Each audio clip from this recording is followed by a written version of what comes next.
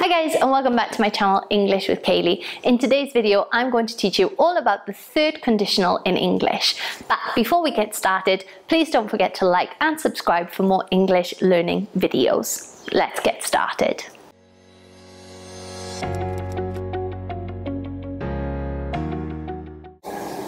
So first, let's take a look at when to use the third conditional. So we use the third conditional to talk about the past, but it's quite special because it's used to describe a situation that didn't happen. Okay, it didn't occur. And we imagine the result of this situation. Okay, so how is it formed? This one is by far the most complex um, in terms of structure. You can see from the zero conditional, first conditional and second conditional video, they're slightly easier in terms of writing it out and saying it.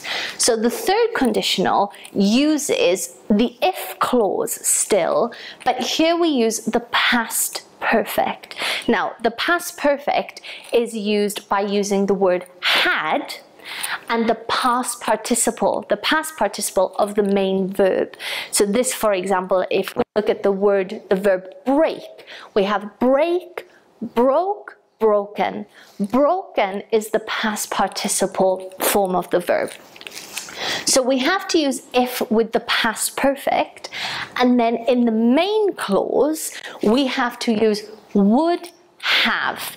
So in the second conditional, we just use would with the verb. But in the third conditional, we use would and have and the past participle again. So that break, broke, broken. Broken is the past participle form of the verb. So it is a little bit more complex. Um, definitely check out my videos that show you the different forms of the verbs. I'll link it in the description below. So let's take a look at some examples. This is an easy way for us to see the sentence in its entirety. So we have, if you had studied, you would have passed your English exam. Let's break it down. If you had studied, so don't forget this is the past perfect, had with the past participle. If you had studied, so this is the imaginary situation, it didn't happen.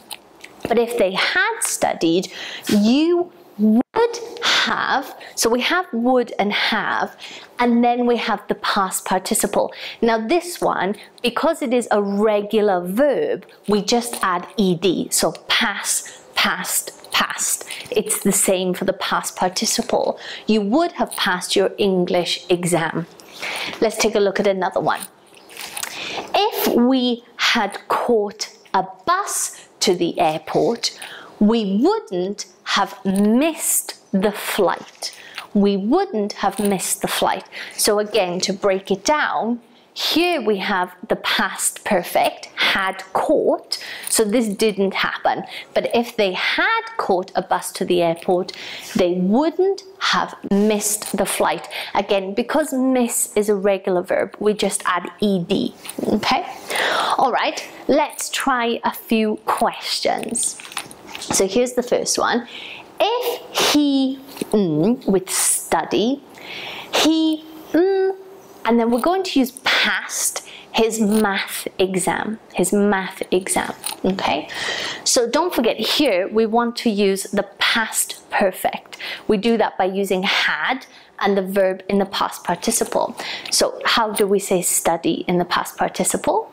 Good, it's a regular verb. So we say, if he had studied, just be careful with the spelling, all right? We don't use Y, we use I-E-D.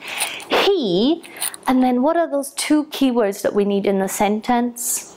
Good, he would have passed his math exam. Perfect.